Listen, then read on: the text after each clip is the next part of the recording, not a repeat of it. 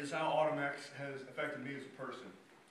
You know, we, uh, my father asked me to, or all of us to come up here and, you know, give kind of a story about how they've changed someone else's life.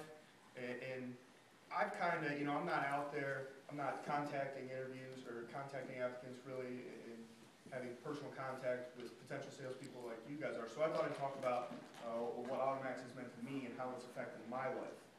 Um, I'm sure some of the guys that have been here uh, a few years will attest to this. Five, six years ago, um, when I started out here, uh, I was a pretty big pain in the ass.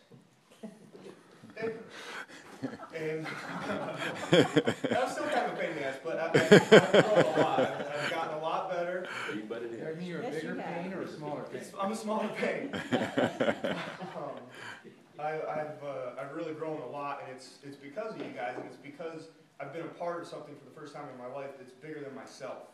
Uh, it's it's more about the sum of, of the pieces going in. You know, Automax is bigger than all of us as a single person. You know, it's it's a, a very strange relationship, very symbiotic relationship between yourselves and us in the office. Um, we don't do well unless you do well. You guys don't do well unless we do well. It, it works back and forth. It's, uh, it's a true, true, true team effort, um, and it's really helped me grow as a person. Uh, uh, you know, really taught me to be more accountable for my actions.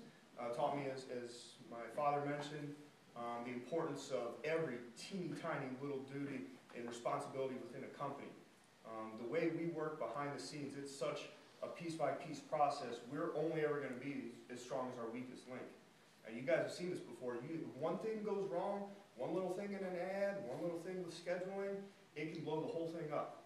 And you guys only get one chance to make a first impression in these deals. We screw up in a deal, that might be it. We might never go back to that store. And I know we've talked about, you know, how many dealerships there are in the country, tons of opportunities, but it is a finite number. And, and you only get one chance to go in and make an impression and show who you are.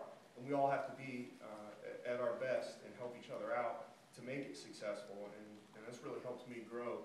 Um, good example of this, me and Cliff talked about it the other day. Um, I, some of you probably still know this, I think we might use it at one or two deals still.